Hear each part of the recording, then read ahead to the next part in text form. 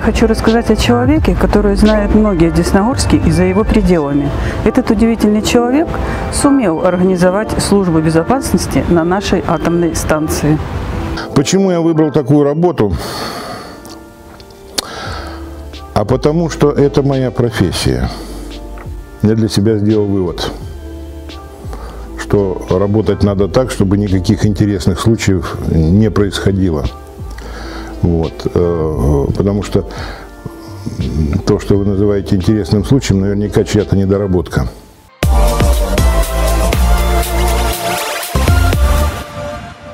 Родился я в Луганской области, город Ровеньки. Есть такой город областного подчинения в Горняцком поселке, в семье шахтера. В 1976 году окончил школу и поступил в Ярославское высшее зенитное ракетное командное училище войск противовоздушной обороны страны, которое в 1980 году с отличием окончил и был направлен для прохождения службы в состав 27-го корпуса противовоздушной обороны, который дислоцировался в городе Риге. А, там я попал в Каунасскую зенитную ракетную бригаду. И первая моя должность был начальник расчета цифровых вычислительных машин на командном пункте бригады, которая стояла в, Десногор... Э, в Каунасе. Извините, я в Десногорске уже столько прожил, что э, уже другого города и не представляю. Вот. Ну, служба проходила стандартно. 1993 году в связи с известными событиями э, воинская часть была выведена из Литвы вот, и э, направлена на прикрытие Смоленской атомной электростанции. Мы располагались в деревне, в деревне Корнеевка, в 6 километрах от АЭС, если по прямой брать, на запад. Вот. Ну, в тот момент я был командиром дивизиона системы С-300 и через некоторое время стал заместителем командира полка. В 1998 году полк был решением главного штаба войск противовоздушной обороны страны расформирован. Тогда действительно шла колоссальная реформа армии. Мы потеряли очень многие воинские части, в том числе и боеспособные, наподобие нашего полка, который ну, сумел в достаточно тяжелых условиях выйти из э, э, Литовской республики, прибыть сюда, развернуться, встать на боевое дежурство. Ну, почему-то оказалось, что мы не нужны на западных рубежах. Стал вопрос, куда и что делать в связи со сформированием полка. И я обратился в отдел кадров Смоленской атомной электростанции. Первоначально планировалась э, моя работа в цехе ТАИ мастером, но при проверке заместитель директора по а, режиму Виктор Петрович Михайлов меня заметил и взял, так сказать, под свое крыло. В том же 98 году я устроился на работу в июне месяце, вот, а в декабре приступил к формированию службы безопасности. Тогда она только-только начинала формироваться. Вот, в принципе, все, так сказать. Почему именно это у вас профессия? Так просто сложилось? Или вы как-то не пожалели вы, что вы вот столько лет отработали? Вы же сейчас ушли на пенсию, да? Да, я сейчас ушел на пенсию, мне 62 года исполнилось недавно. Два года назад я ушел, как военные говорят, запас, ну, на гражданке говорят, на пенсию. Да, после исполнения 60 лет я уволился. Почему я выбрал такую работу? А потому что это моя профессия. Это моя профессия, полученная в училище. А, дело в том, что э, создание системы физической защиты и построение системы зенитной ракетной обороны – это суть одно и то же. Так как я до этого 22 года занимался именно этим делом, именно построением систем зенитной ракетной обороны на разных должностях, начиная от начальника расчета и заканчивая заместителем командира полка – то мне это было близко, понятно. Вот, и когда э, я получил такое предложение от э, одного из руководителей станции, я тут же согласился.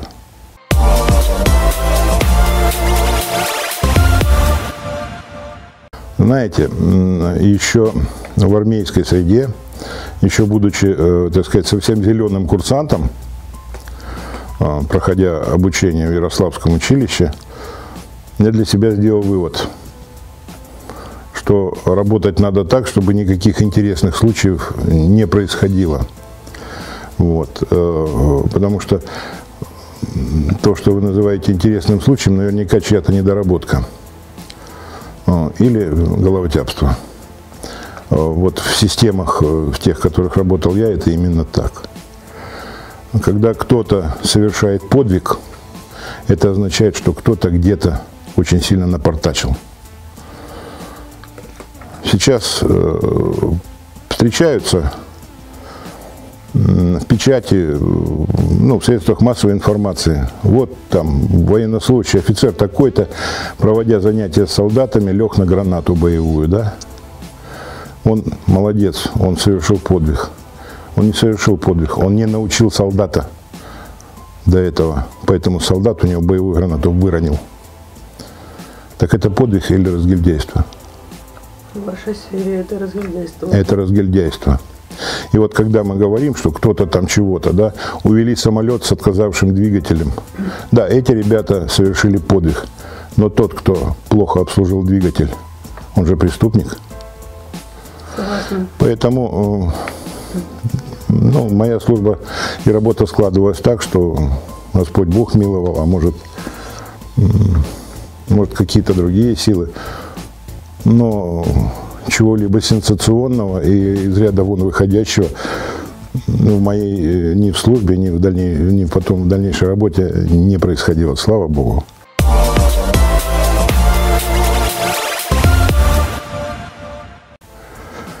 А есть ли у вас какое-нибудь хобби?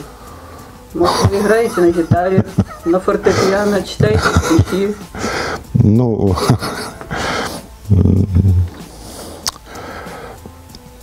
у меня очень много всяких разных увлечений. К сожалению, э, практически ни в чем я не достиг, так сказать, какого-либо уровня, который можно демонстрировать в качестве э, шоу там или развлекать э, людей, за исключением очень круга, близкого круга моих друзей или родных. Вот. Ну, как у каждого человека есть какие-то увлечения. Играю в шахматы, умею читать стихи. Вот. Есть увлечение, то, которое не совсем популярно, я увлекаюсь бардовской песней. Вот. Я не пою, но уже давно, 12 лет, я являюсь, вот теперь внимание, членом клуба авторской песни на кавказских минеральных водах, который называется «Поющий источник». Раньше он назывался «Жемчужина Кавказа» и был под крылом нашего э, атомного профсоюза, базировался на территории жемчужины, э, санатория «Жемчужина Кавказа». В 2006 году я познакомился с этим потрясающим коллективом, с этими ребятами. Они они исключительно любители, учителя, там, ну вот, э, какие-то работники чего-то, не работники э, этого самого сферы искусства, а именно увлеченные люди. И в 2008 году я первый раз попал к ним на фестиваль. А, с 2001 года проводится ежегодный фестиваль авторской песни. Там в городе Синтуки или в городе Лермонтове, в зависимости от э, ситуации. Ну и вот, так сказать, сошелся с коллективом настолько, они меня приняли, что э, я стал их членом, ну, членом этого клуба. Хотя живу достаточно далеко, они называют меня наш э, иногородний член. Вот. Ну, вот так. А? Это здорово, это очень хорошо. Да, да. Когда находишь что-то по душе.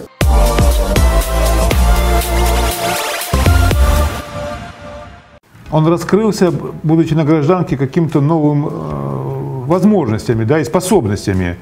Э, будучи неоднократно э, в Канминводах, э, на курортах, он там познакомился с соответствующими людьми, и его увлекло такое, ну, не знаю, на какое-то вот э, направление, как бардовская песня, стихи. Он, кстати, играл на гитаре. Мы когда собирались семьями, он может и спеть, сыграть на гитаре.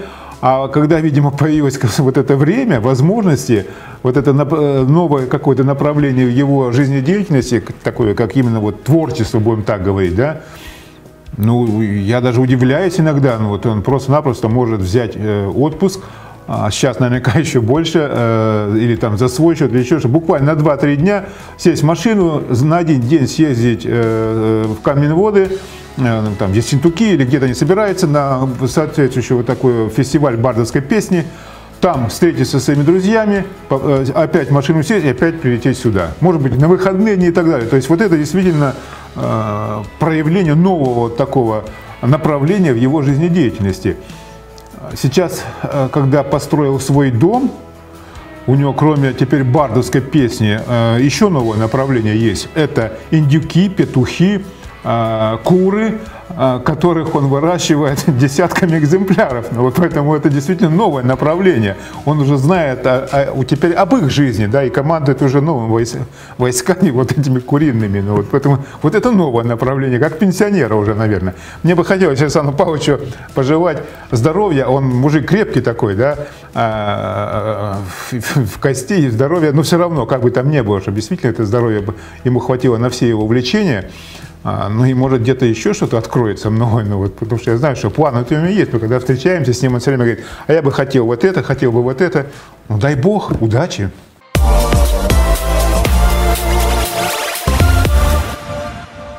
Есть у меня приятель Михаил Трошенков. А он живет в городе Железноводске, он пишет стихи достаточно, достаточно хорошего уровня, порядочного. Вот. И причем это не графоманство. Мне нравятся женщины, платьях. Не нравятся женщины в джинсах. Никак не готов обнимать я заклепки штановых мужицких.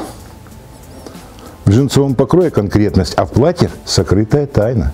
Им не к лицу сигаретность и сквернословность крутая, присущая им легкости, нежности, ветренности, целомудрия. А в джинсах потертость, небрежность, бэушность и века безумия. Ну, скажете, вы непременно на это хотела плевать я. Я высказал частное мнение. Мне нравятся женщины в платьях.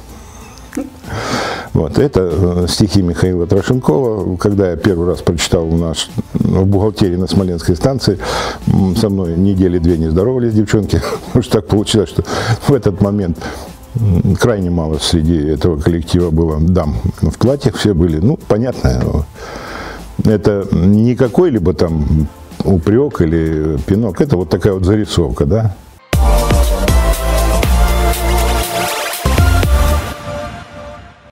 Остальные э, мои увлечения, они, наверное, такие же, как э, у многих людей. Э, нет ничего-то такого необычного, чего бы там было. Небольшая мастерская дома. Я умею и люблю работать с механизмами. Ну и образование у меня радиотехническое. Я, э, в училище э, курсанты по программе высшего учебного заведения э, получают, кроме военной специальности, еще и гражданскую. Вот, причем очень серьезную. Гражданская специальность у меня инженер по эксплуатации радиотехнических средств. Вот, и первые 20 лет моей службы были связаны с эксплуатацией именно радиотехники. Зенитные ракетные системы – это очень сложная радиоэлектроника. Вот. Ну, это продолжает оставаться, ну, не увлечением, но таким вот э, способностью что-то сделать, отремонтировать, настроить, починить.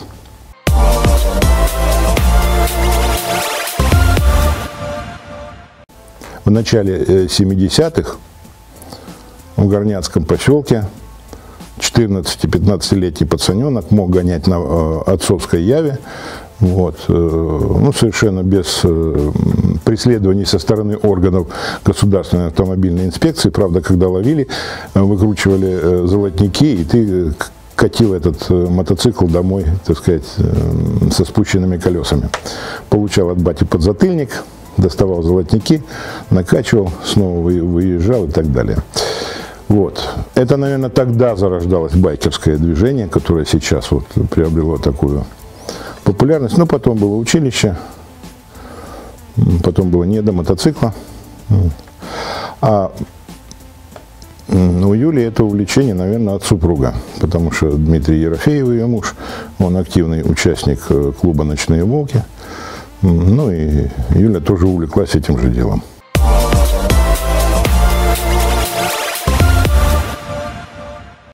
Как вы считаете, вы были строгим отцом для дочерей или добрым? Я был любящим отцом. И я остава- остаюсь любящим отцом. Без комментариев. Хороший ответ. Вот. Я помню, как мы ходили на рыбалку. Пока девчонки еще маленькие были, мама ими занималась, а я с папой пескарей ловила. И выросли, и мама уже ловила рыбу вместе с папой. А мы с сестрами брали сачки и мальков пытались наловить для наших кошек многочисленных. Животные всегда были в нашей семье. А, не, я не помню, что папа нам запрещал кого-то заводить. Он даже сам приносил собак, я помню. А кошек вообще никто не считал, сколько их там было у нас по счету. Друг за другом.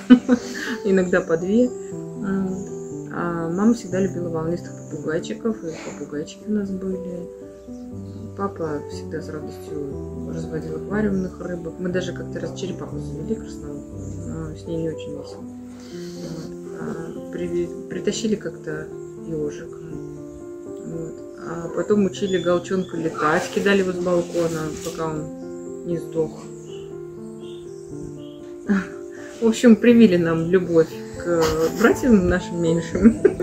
Вот. Ну и своим детям я тоже не запрещаю заводить животных. Я Александра Павловича Юскевича э, знаю с 1994 года, с того момента, когда я приехал э, в Десногорск на новое место службы э, в зенитно-ракетный полк, который в это время дислоцировался в Десногорске. Александр Павлович сюда прибыл в 1993 году с Прибалтики, когда выводили наши вооруженные силы после ну, обретения самостоятельности, будем так говорить, прибалтийских республик.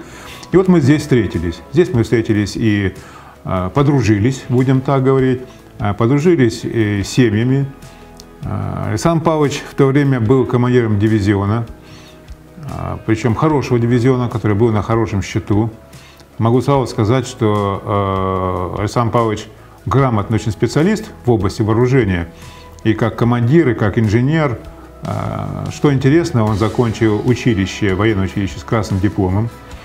Э, Кстати, у нас все командиры дивизионов, которые служили в нашем полку, они все были э, краснодипломниками. Это говорит именно о подготовке кадров, которые были в зенитно-ракетном полку. Как специалист он был прекрасный, работал, служил прекрасно. Э, Это было замечено командованием части. И буквально где-то за год до расформирования полка э, ему предложили новую должность, должность выше, э, заместителя командира полка по вооружению. Сам Павлович туда перешел. Под ним оказалось все, все вооружение полка, начиная от ракетного и заканчивая стрелковым где вот как раз качества его как организатора были проя- проявились очень хорошо. Особенно, когда полк выезжал на боевые стрельбы на полигон, причем внезапные. Вот от эти качества как командира, как организатора в то время как раз были э, хорошо проявились. Что еще я могу сказать про Александра Павловича? Прекрасный семьянин, три дочки, прекрасные дочери. А, Жена красавица, мы дружим семьями. Кстати, могу сказать, что э, Елена Константиновна, э, его жена, кстати, прекрасный стрелок. А Она э, участвовала в соревнованиях э, за сборную Украины, э, имеет соответствующий то ли первый, то ли разряд, то ли кандидат мастера спорта, выступала за нашу воинскую часть на соревнованиях по стрельбе. Поэтому я могу сказать, что действительно эта семья прекрасная. Александр Павлович очень хороший сын. Он же родом с Луганской области, там, где сейчас идет война. А, Он маму свою вывез а, буквально за несколько часов оттуда, да, когда она позвонила, сказала, что все не очень так хорошо. Он быстро собрался, сел в машину и привез сюда мать. Без всего, просто с одеждой. Привез и все. Ну. То есть вот эти качества его, да, как именно э, любящего и сына, отца, прекрасного мужа, прекрасного организатора, командира, инженера, они ему в дальнейшем пригодились уже тогда, когда он э, возглавил службу безопасности, начал, по сути дела, с нуля а, ее организовывать на Смоленской атомной станции. Э, и здесь у него уже вот эти качества, которые как организатора, как э, человека, который может в единое целое все связать, и причем не только но и потребовать выполнения вот тех мероприятий, сложных мероприятий, которые были на него возложены по новому его функционалу, они провелись в полном объеме.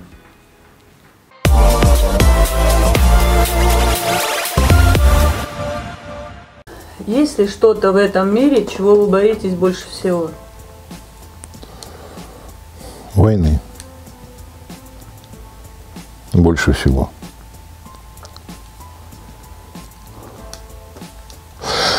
А все остальное, я побоюсь быть э, циничным, но даже утрата близких – это э, это очень тяжелое, но это естественное, когда они уходят там, по возрасту или в течение там, тяжелой болезни, да, вот. Это понятно. А вот э, ну, слава богу, я не был в горячих точках, э, не, не попал я э, ни на какие военные конфликты, в которых э, армия Советского Союза, а потом российская принимала участие. Вот, все-таки ЗРВ это немножко не воздушно-десантные войска, там, и не другие, не мотопехота. Но знакомство с военной службой изнутри – а военная служба это не романтика, это тяжелый труд, это пот, кровь. Ну, причем в повседневной жизни. Вот. Если, если к этому серьезно относиться. Поэтому, а война это э, этот воинский труд в течение 24 часов, без сна отдыха, 7 дней в неделю, 365 дней в году и совершенно без каких-либо бытовых условий. Причем в постоянном окружении Смерть, гибель, лишение, уничтоженные города, села. У меня э, дед был по материнской линии э, офицером. Вот. Э, по отцовской линии в 1944 году Яскевич Петр Владимирович погиб и похоронен э, в одной из братских могил на границе с, э, на западной границе Белоруссии. Вот. Ну, я рос в атмосфере рассказов о военной службе. Наверное, это послужило э, и выбором моей профессии.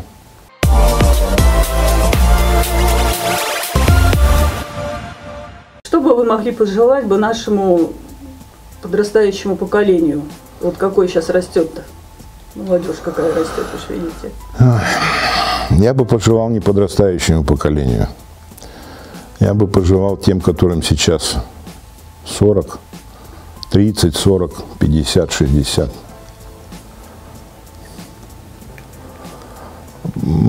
Подрастающее поколение, оно ведь пока своих шишек не набьет, оно не успокоится. Э, не надо думать, что это что-то там особенное. Еще в Древнем Риме писали, вот какая молодежь, все пропало, кто идет нам на смену и так далее. Но именно от нас, от тех, кому сейчас 30, тех, кому сейчас 60, зависит от того, э, как мы воспитаем своих детей и внуков. А мы воспитанием детей и внуков на сегодняшний день, к сожалению, не занимаемся. Это видно на каждом шагу. Видно, каких героев наши дети и внуки любят, на кого они равняются – что у них в голове.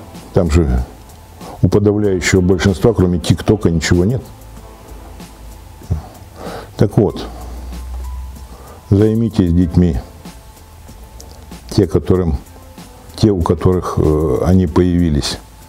Именно вы отвечаете за то, кто вырастет. Не школа, не армия,